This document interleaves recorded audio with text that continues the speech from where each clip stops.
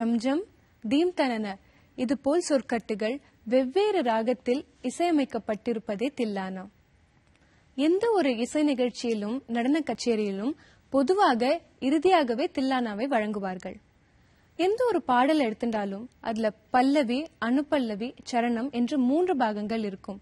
ஆனால் தில்லானாவில் மட்டும் சாகித்யம் அதாவது பாடல் வரிகள் சரணத்தில் அமைக்கப்பட்டிருக்கும். தில்லானாவில் வெவ்வேறு அடவுகள் இணைந்து கோர்வையாக ஆடும்பொழுது அதனுடைய தனி அழகு வெளிப்படும். கமாஸ் தில்லானா ஆதிதாளம் இயற்றியவர் திரு கே. ஹரிபிரசாத் அவர்கள்.